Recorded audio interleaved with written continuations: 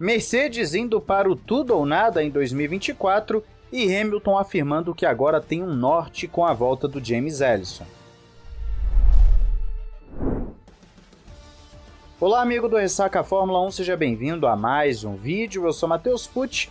Vamos para um vídeo mais comum aqui do canal. Tivemos dois vídeos um pouco fora do nosso padrão. Inclusive, recomendo que assistam tanto a análise da temporada com a participação do Sérgio Milani e do Thiago do Fórmula Brum, quanto também o vídeo em que falamos sobre o teatro da categoria.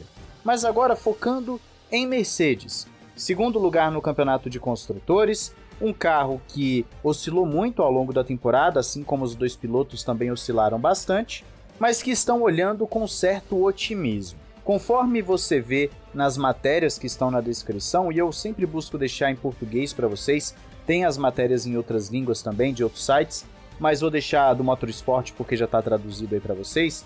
Você pode conferir o seguinte: a Mercedes, mais uma vez, através do Toto Wolff, o chefe, confirmou que vão sim para o tudo ou nada, que vão mudar o conceito todo do carro, ou seja, a famosa folha em branco que eles mesmos falam. O Wolff afirmou que estão mudando o conceito e estão mudando tudo em termos de chassi, distribuição de peso, fluxo de ar e literalmente quase todos os componentes estão sendo modificados porque apenas com isso terão uma chance. Só que o próprio chefe da Mercedes lembra que com isso podem vir também os erros. Eles podem errar, então eles podem não ganhar tudo o que esperam para alcançar a Red Bull.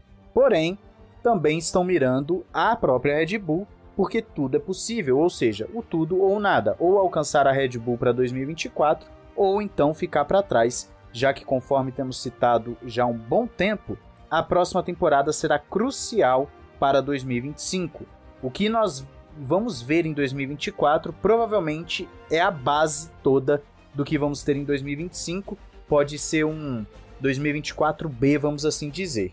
Como se não bastasse essa grande diferença que precisa ser tirada para a Red Bull, o Wolff também lembra que para manter essa equipe humilde, eles precisam aceitar o golpe e entender que precisam escalar um Everest para alcançar os taurinos e o mais importante, acredita que McLaren, Aston Martin e talvez outros estejam na briga. Esse outros aí talvez a gente consiga englobar a Ferrari, que outras equipes também estarão na briga contra a Red Bull.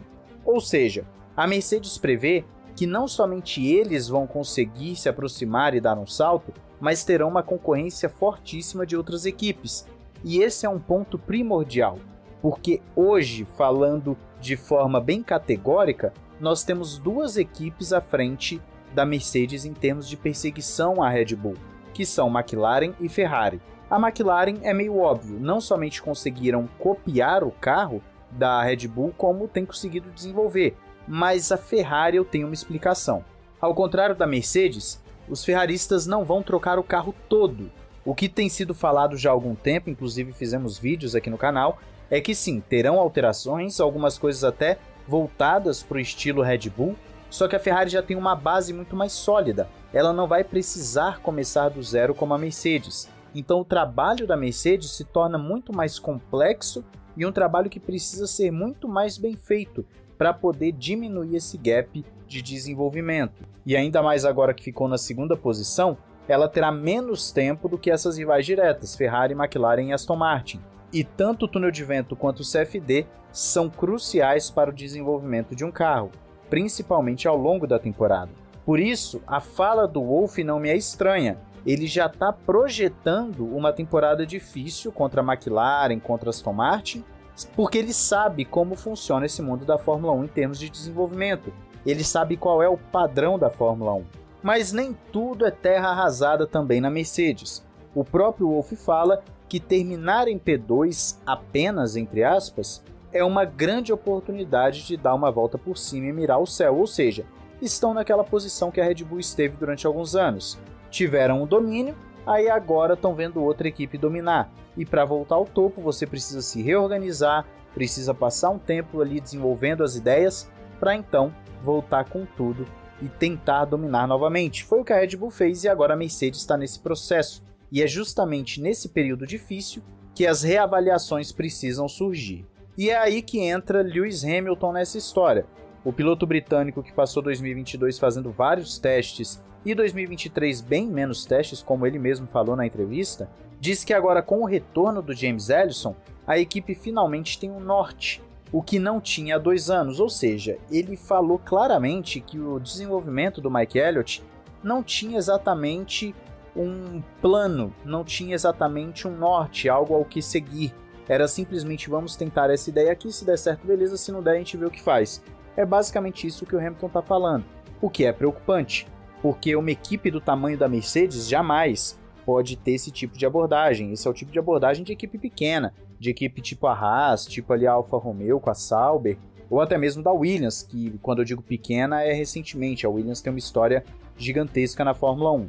Então a fala do Hamilton é preocupante, porque você vê que talvez tenham perdido a mão justamente num dos pontos fortes da Mercedes, a Mercedes, no período de domínio, estava sempre um passo à frente. E pelo que o Hamilton está falando, nas últimas duas temporadas, sempre esteve às cegas. Eles não tinham um norte. E isso, obviamente, influencia diretamente no desenvolvimento. Hamilton faz um paralelo com a construção de uma parede.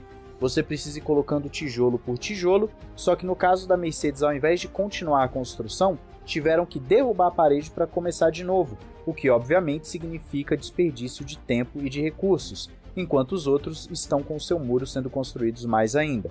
Ele lembra que tiveram problemas ano passado com o downforce e que entende que a Red Bull está mesmo progredindo e a Mercedes está numa curva quase que plana de desenvolvimento. Justamente o que eu estava falando para vocês sobre a Ferrari agora. A Ferrari já tem um ponto de partida, a Mercedes não. A Mercedes vai começar do zero.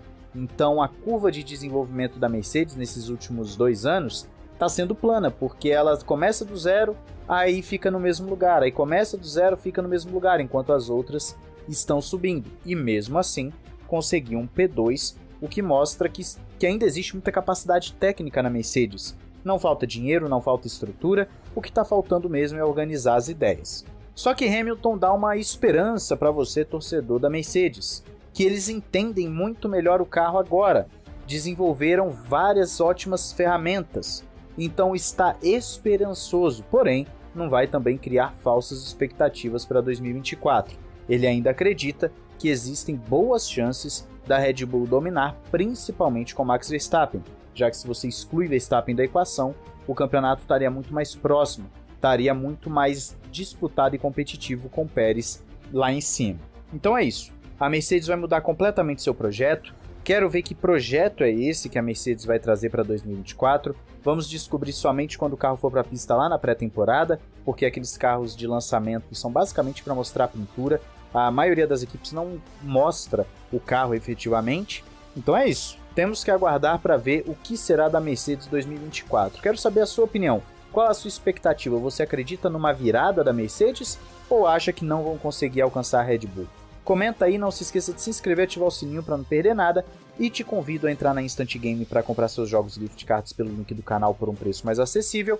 E também tem o nosso link aí da Amazon aí embaixo, se você quiser comprar qualquer tipo de produto, acessa pelo nosso link, você vai estar ajudando o canal e acaba fazendo nenhuma diferença para você negativamente. É isso, um grande abraço, valeu e falou!